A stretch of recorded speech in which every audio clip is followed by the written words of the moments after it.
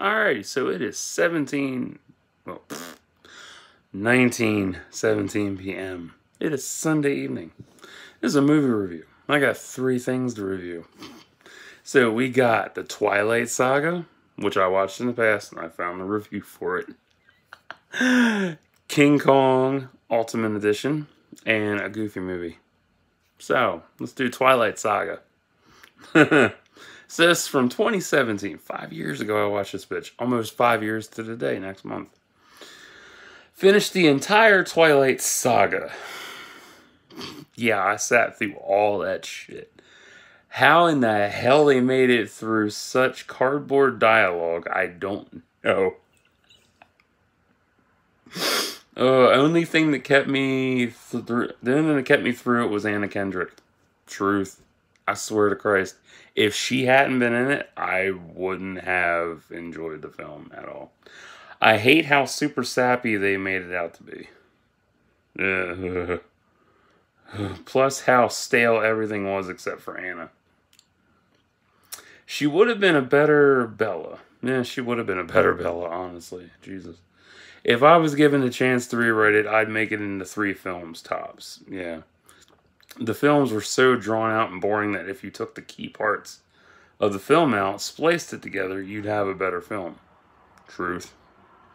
The only good part was the battle in Breaking Dawn Part 2, and that was ruined when I discovered it was all psychic.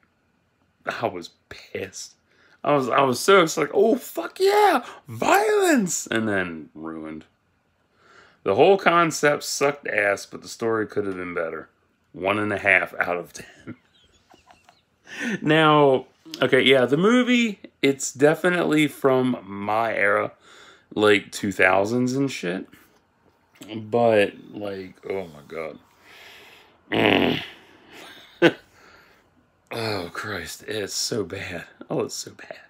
But I will say positive shit on this. Yeah, there's actually positive on this. Uh, despite all the negativity, the main positive is Anna Kendrick. And I know it's like, oh, what's so good about Anna Kendrick? She's ugly as fuck. If Twilight hadn't taken off like it like it did, she wouldn't have a career today. She'd still be living in the back of her car. How do I know that? It's in her autobiography. And that's why I respect her body of work. And I have a deep, a very deep fondness for how she is and how she, you know, watching her journey through cinema. That's fun. From her debut in camp to, uh, what is that? Love Life on HBO Max. Yeah, so she's gone from movies to TV shows. And it's amazing. Like, read, listen to her audiobook or read it or whatever. It's good. Twilight, though, oh, baby. I do not like that son of a bitch. I just, I, oh, no. no, no, no, no, no. Oh, hell no. Uh-uh. Nah, I'm good. I won't ever watch that shit again. Did I even enjoy it? Like, kind of, but not really. It just didn't really um resonate with me like everybody else. And that was around as like I said, that was my era. Like that was four years of me out of high school. So yeah, that was I was in that era and shit, but nah, that wasn't my jam.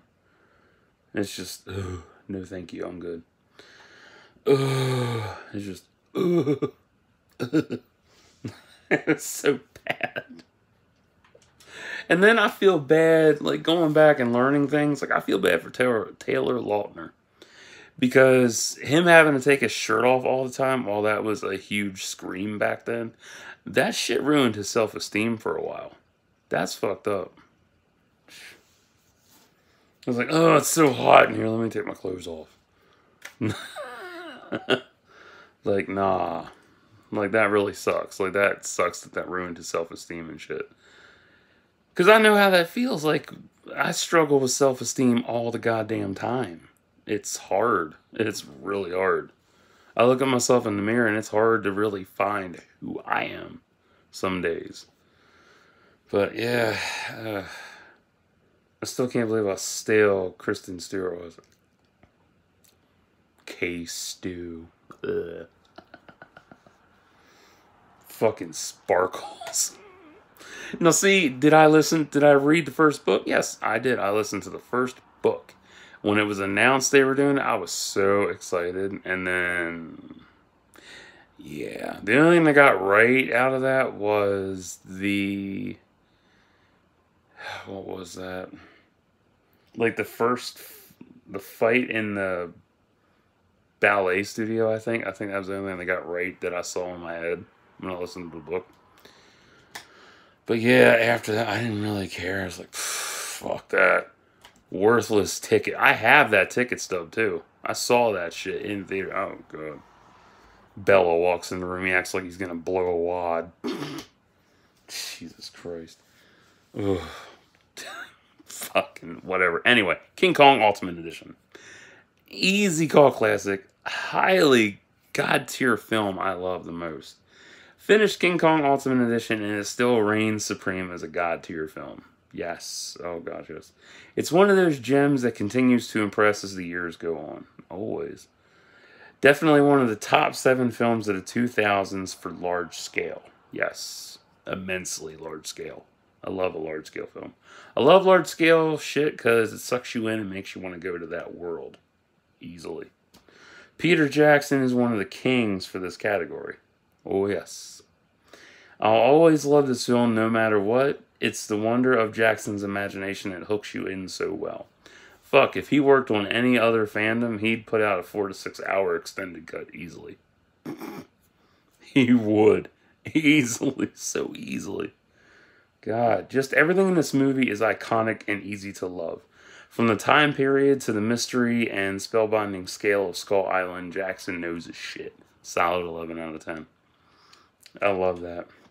And then we got a goofy movie. but what's my favorite part of King Kong? Easily Skull Island. I just I love everything about that shit. It's beautiful. Um I really enjoyed just the scale of all the creatures.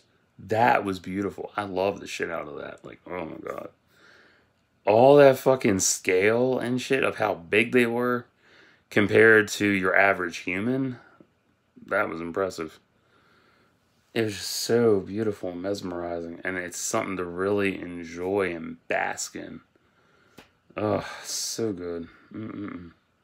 And I own that bitch on 4K. But HBO Max had it, so I, watched, I streamed it because I was in the mood.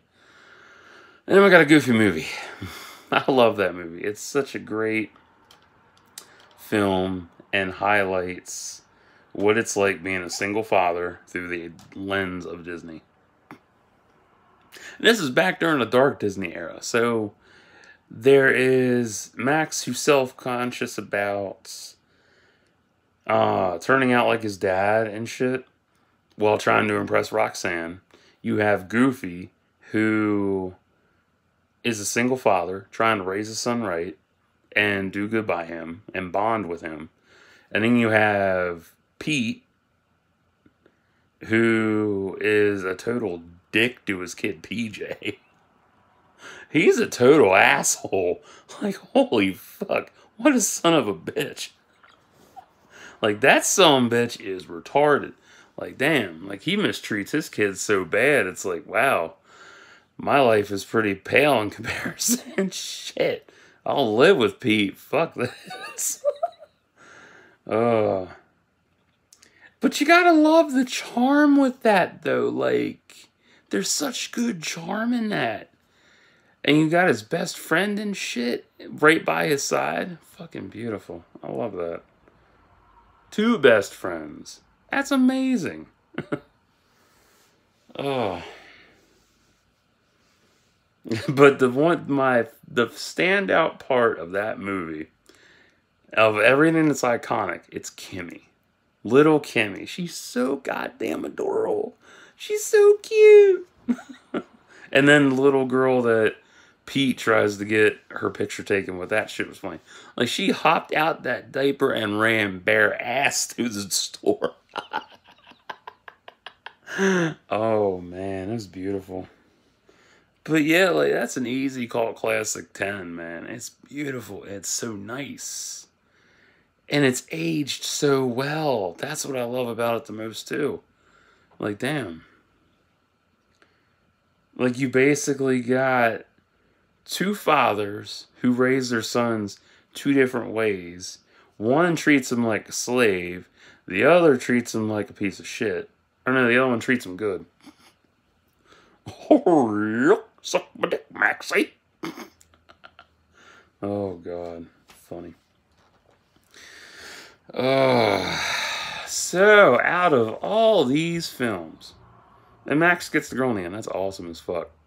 And fun fact, I've always wanted a woman that looked at me like Roxanne looks at Max. Finally got that shit. Oh my. So, out of these three, which one reigns supreme? That's a hard one. Well, Twilight can go fuck itself. But honorable mention to Anna. So, um, I don't know. I guess King Kong, honestly, for in terms of scale and story, definitely. Goofy movie, definitely for story and parenting and fatherhood for single fathers and stuff. Um, and kind of like broken home life in a sense, I guess. Because where's Max's mom at? That's that's like one question about where the fuck's his mom? what happened to Pete's mom or wife? Duh. But where's his mom? I don't know.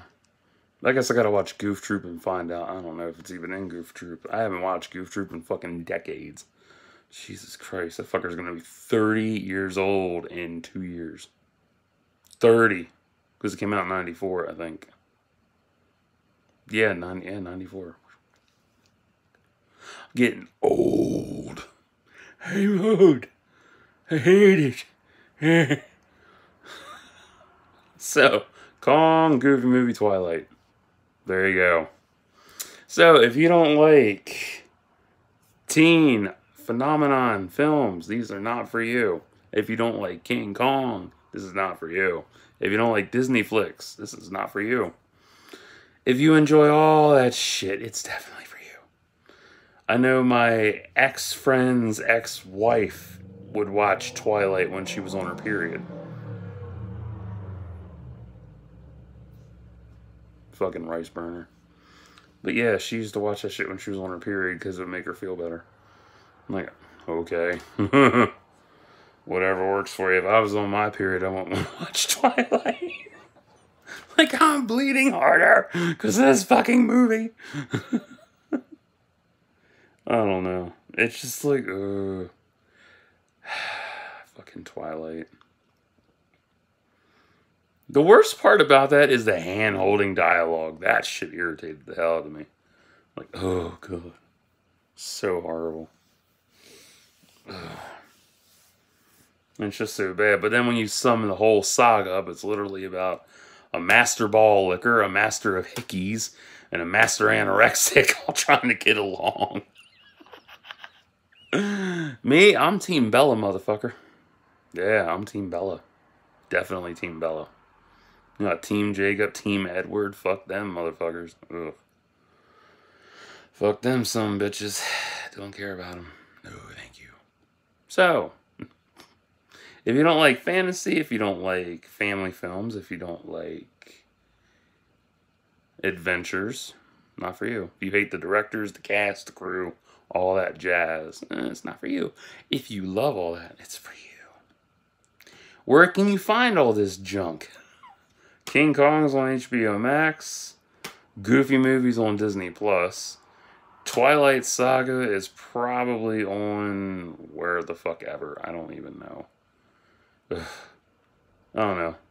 Go find it on a pirated website or rent it from your library. I don't fucking care. It's whatever. Maybe you get off to that shit. I don't fucking know. God. Although when I was watching King Kong this morning, I heard, I thought about that, and I was like, man, It'd be cool if Idris Elba was narrating his Kong's emotions. Just eh, that gentle narrating, like Morgan Freeman does. Like I would love to have had that. That would have been so cool. I don't know. It's just I listen to so many narrators and so many voices in film and show. It's like I pick one voice and it's like, oh, that's perfect for that. But it'll never happen. But if you think that's racist in some way, you need to grow the fuck up. It's not about that. So, I'm gonna get off here, upload this fucking thing, and go watch some TV. Till next time, like and subscribe for thoughts and prayers.